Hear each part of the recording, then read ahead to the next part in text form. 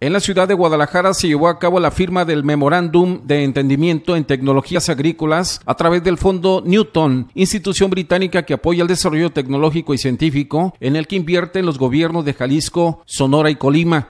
Como coordinador en la CONAGO de la Comisión de Ciencia y Tecnología, es para los gobernadores un enorme compromiso apostarle a la ciencia y tecnología, un tema sobre el cual hay mucho que hacer todavía. Eh, ciertamente los presupuestos públicos, tanto de origen federal como estatal, tienen que seguir creciendo, le tenemos que seguir apostando, pero también tenemos que seguir generando condiciones para que se incremente también la inversión en ciencia y tecnología por parte del sector privado.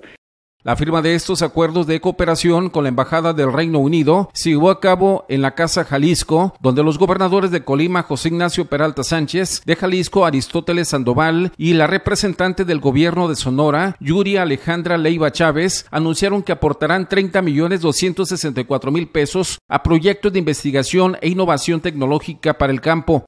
Por eso nos sentimos muy orgullosos de haber sido elegidos por el Programa Oficial de Asistencia para el Desarrollo del Reino Unido, junto a Colima, a Sonora, para poder participar de este Fondo Newton.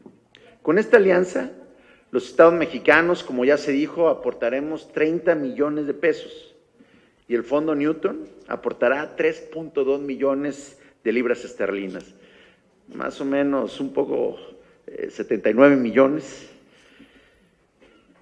para el desarrollo de estos proyectos de ciencia e innovación, particularmente en el área de biotecnología.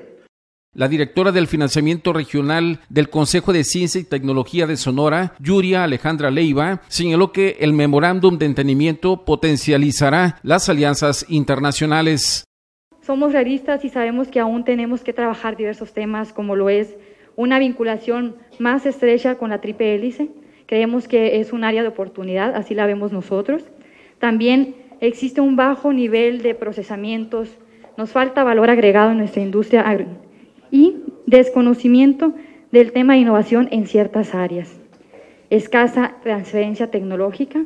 Entonces, en ese sentido, en esas áreas de oportunidad que nosotros vemos, este convenio de colaboración con esta alianza estratégica y el apoyo del Reino Unido, esperamos que venga a potencializar estas áreas que tenemos en total se invertirán en estos proyectos de investigación que serán convocados 4.4 millones de libras esterlinas, equivalente a 110 millones 968 mil pesos mexicanos. Los tres estados aportarán poco más de 30 millones de pesos, en tanto que el Reino Unido hará una contribución de 80 millones 704 mil pesos a través de este acuerdo de cooperación que tiene una vigencia al 30 de septiembre del año 2021 con posibilidad de ampliarlo.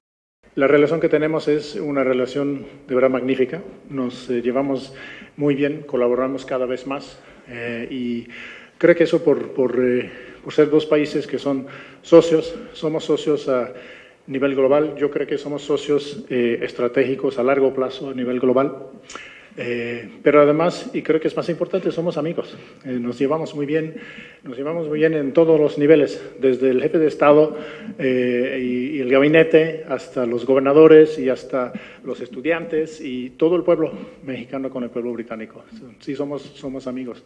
Con estos casi 111 millones de pesos, habrá posibilidad de financiar investigaciones conjuntas donde participarán científicos mexicanos e ingleses para el intercambio de información, aplicación de tecnologías en cultivos resilientes y promover la colaboración en áreas que se identifiquen como prioridad. Noticias 12.1, Marcos Rivera.